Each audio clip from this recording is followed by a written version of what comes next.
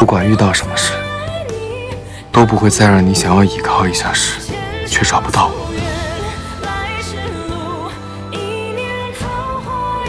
梅林遇袭可以说是名场面之一。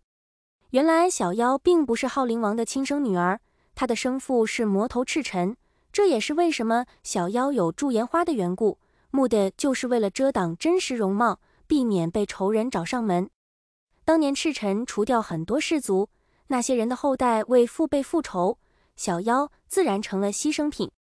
遇袭的根源也在轩辕王叔和枪炫身上。毕竟小妖站在了他们的对立面，选择帮助枪炫，这也意味着双方迟早会决裂。小妖被婢女骗到梅林，发现情况不对，已经为时晚矣。他拼命抵抗，可大阵坚不可摧。就这样，小妖被仇家抓了起来。接下来就是惨无人道的折磨，那些刀和钉穿透了小妖的身体，直至让小妖没了气息。远在深山的相柳突然面色凝重。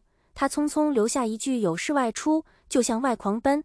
而在神农山紫金顶的枪炫突然心慌意乱，他立即让人去寻找小妖，无论发生什么，第一时间要保住小妖的命。与此同时，在青丘涂山氏府邸，涂山璟腰上的香囊无缘无故断开，这是小妖所赠。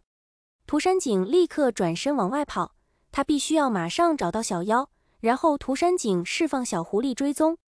当他走进阵法后，看到一个人吊在半空，身子模糊，难辨男女。涂山璟怒不可遏，随即拼命输送灵力，可小妖始终没有醒过来。紧接着，朵朵梅花化作火焰，涂山璟抱着小妖不放手。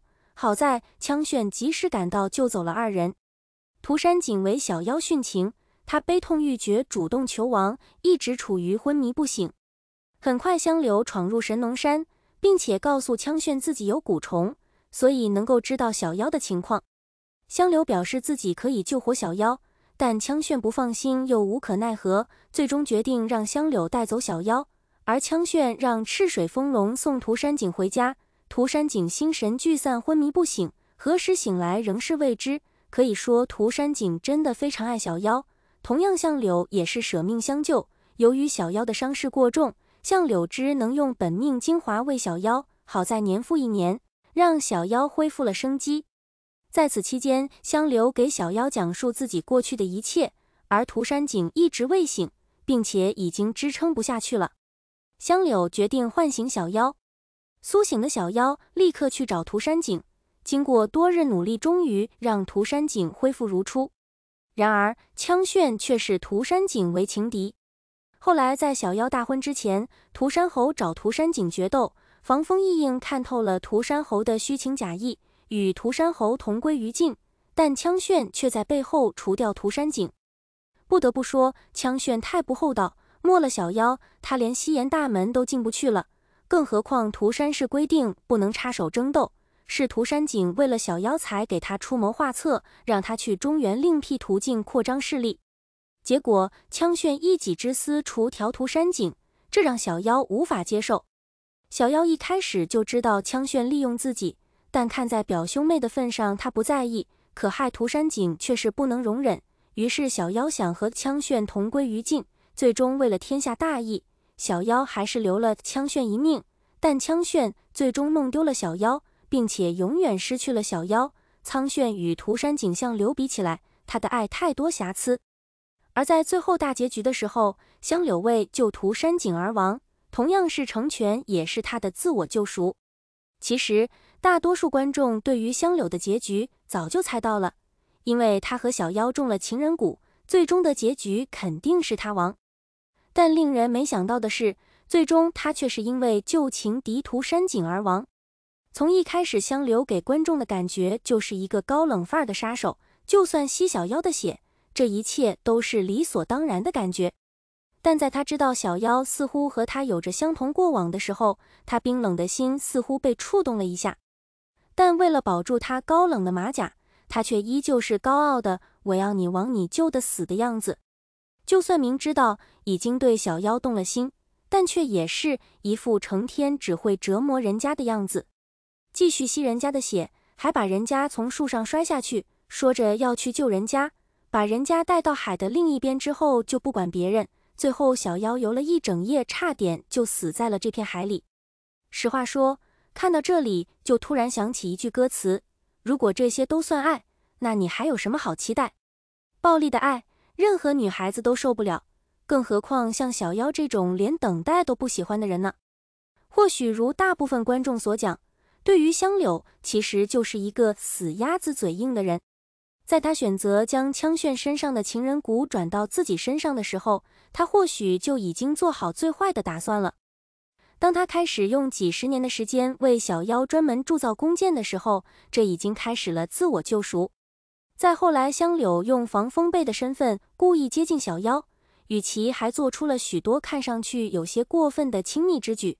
但对于那些浪荡公子而言，那就是他的秉性。恰巧这段时间，小妖在生徒山景的气，也算是将计就计的和防风被友好的混了几天。当然，小妖也还有一个目的，就是想跟着防风被学习射箭，为了帮助哥哥枪炫，同时也为了自保。随着枪炫在来到中原和风龙结为盟友，这一群主角的同框画面也越来越多。而小妖和涂山璟也常常见面，这样让两人的感情也是急剧的升温。小妖也是一个很有分寸感的姑娘，在和涂山璟确认关系之后，她是有刻意远离相柳，只是有时候为了自己的目的，她也不得不装装样子。在她还没有确认防风背就是香柳的时候，他似乎也感受到了对方向他投射来了不一样的目光。但当他确认防风被就是香柳之后，那种本能护住脖子的反应也是令人心疼，但最终为了救他，小妖还是拿出手腕让香柳吸血疗伤，帮他成功脱险。